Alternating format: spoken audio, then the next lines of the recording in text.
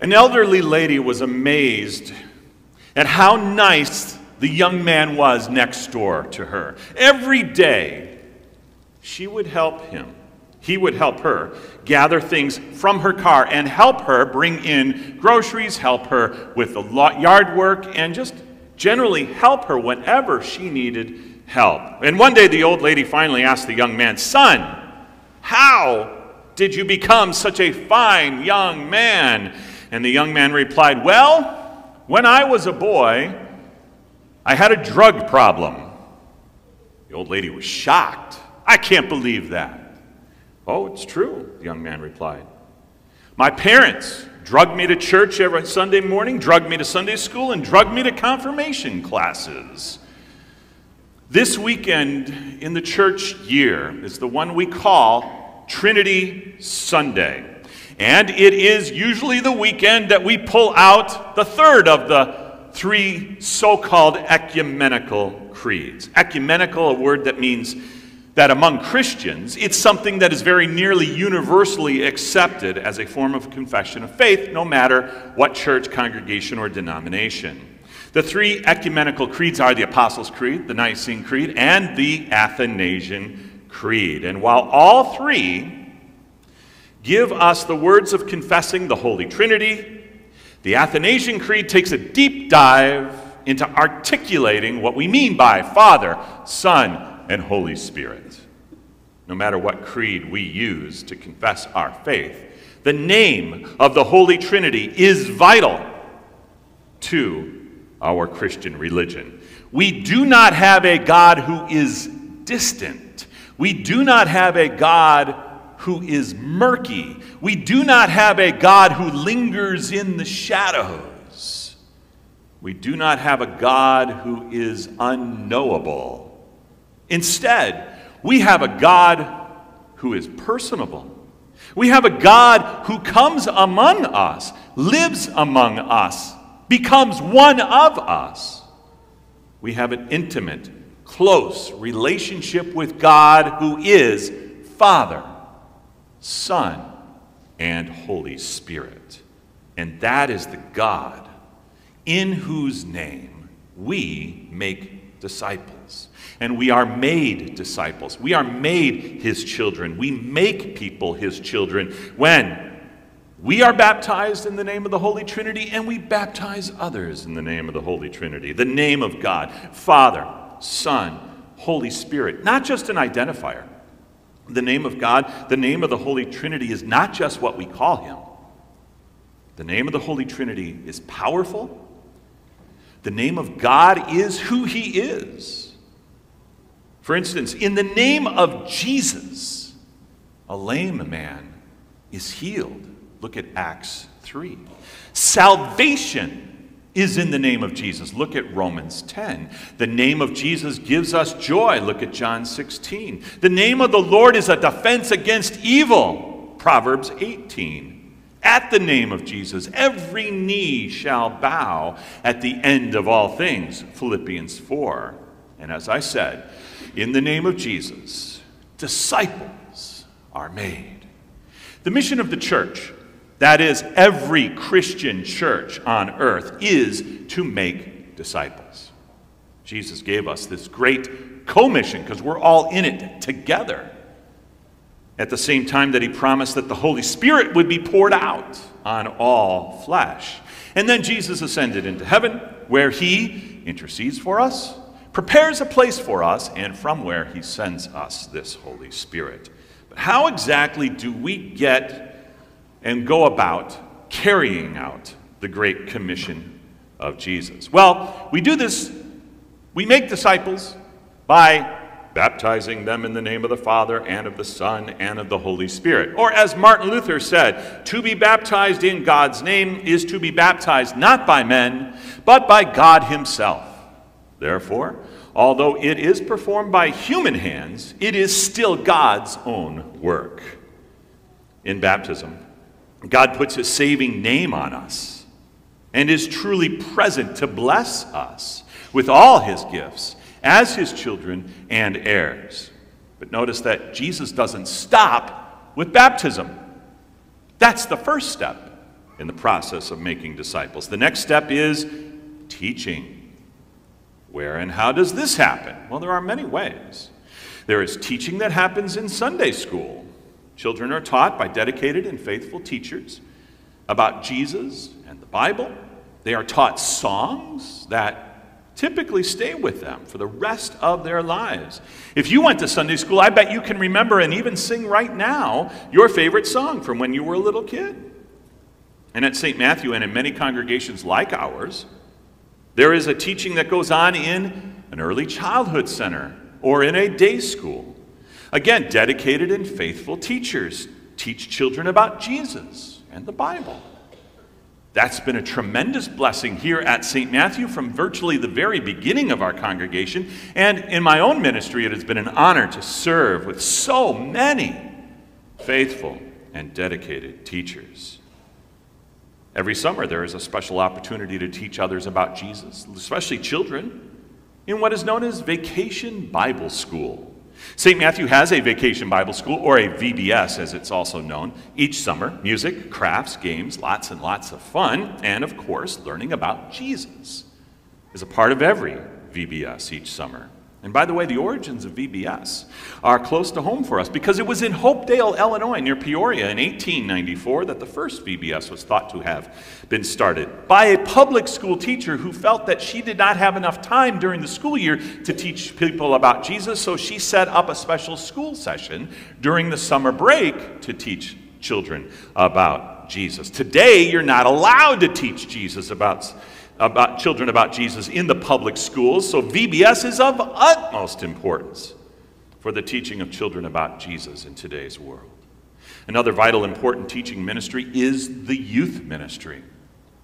And this is one that has been a challenge for us here at St. Matthew. But we are constantly working towards building this important aspect of teaching young people about Jesus. You're going to hear more about that in the months to come. And then there's the tried and true Bible study, adult Bible study. Here at St. Matthew, our adult Bible studies are geared as they are extensions of what happens here in worship. Because in Bible study, we have the opportunity to more intimately look at and explore what is said here in the worship service. We can take deep dives into the text of God's Word, like we are going to do this fall when we pick up our Bible studies again in the book of Revelation on Sundays and Galatians on Saturdays, just to name two. This is how we participate in the process of making disciples that Jesus commands us to do in the Great Commission to baptize and to teach. And then Jesus gives us an incredible word of encouragement as we go on this mission. Jesus tells us that He is with us always, even to the end of the age. And what do you get from that statement of Jesus? And I think there are at least two ways to look at this. I think it's a good thing, it's an encouraging promise, but also you could look at this as a threat. It's a good thing in this there is no place that we can go that Jesus will not be with us. And I got a Bible passage that shows exactly this, that I hope provides great comfort for you. Psalm 139, verses 7, 8, and 9. Where shall I go from your spirit? Or where shall I flee from your presence? If I ascend to heaven, you are there. If I make my bed in Sheol or the grave, you are there. If I take the wings of the morning, or dwell in the uttermost parts of the sea, even there your hand shall lead me, and your right hand shall hold me. If I say, Surely the darkness shall cover me, and the light about me be night, even the darkness is not dark to you. The night is bright as the day, for darkness is as light with you. Jesus is always with you, wherever you go. You are never alone. How comforting that is. When it's 2 o'clock in the morning, you can't sleep, you are alone, you're wide awake, alone afraid, maybe, miserable that there's no one else around there for you, but Jesus is there with you. Hang on to that promise.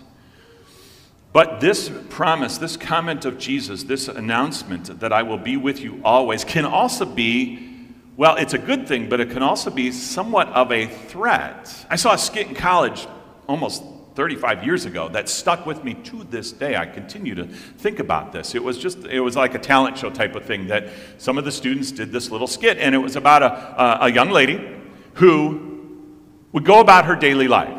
She'd sit in the chapel pews for chapel time. She'd be in biology class. She'd be in the library studying for her English test. And everywhere she went in her daily life, there was somebody with her. And that person was representing Jesus. No matter where she went chapel, library, dorm room, wherever it was, classroom, Jesus was with her. And then her friends came up and said, Hey, let's go out.